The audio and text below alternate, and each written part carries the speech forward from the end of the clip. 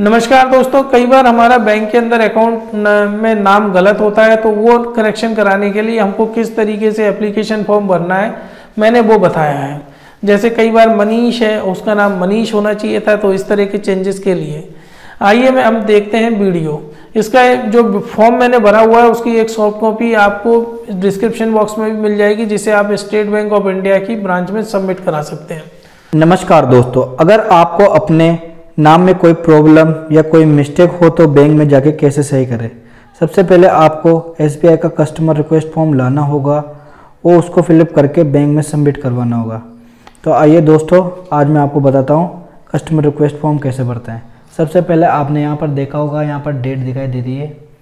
तो जिस दिन आप ये फॉर्म बैंक में सबमिट करवाओ, उस दिन की यहाँ पर डेट होना चाहिए।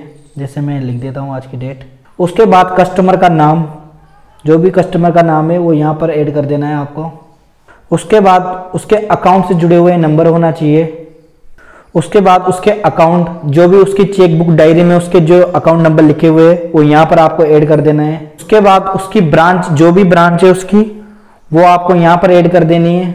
उसके बाद जैसे कि आपको अपना नाम यहाँ पर चेंज करवाना है तो यहाँ पर लिख रहा है चेंज माई नेम तो यहाँ पर आपको क्लिक करके वो नाम लिख देना है, जो आप, नाम लिखने के बाद आपको यहाँ पर ये कॉलम दिख रहा है, यहाँ पर आपको अपने सिग्नेचर करने होंगे। उसके बाद इसके जस्ट पीछे आपको ये आधार कार्ड लगाना होगा।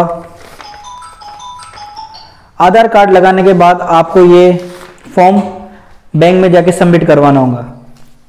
तो ठीक है थैंक यू दोस्तों थैंक यू सो मच तो फ्रेंड्स मुझे उम्मीद है आपको मेरा वीडियो पसंद आया होगा। प्लीज़ मेरा वीडियो आप अपने व्हाट्सएप ग्रुप पे शेयर करें और मेरा चैनल सब्सक्राइब करवा के रखें बैंकिंग रिलेटेड इन्फॉर्मेशन के लिए। Thank you friends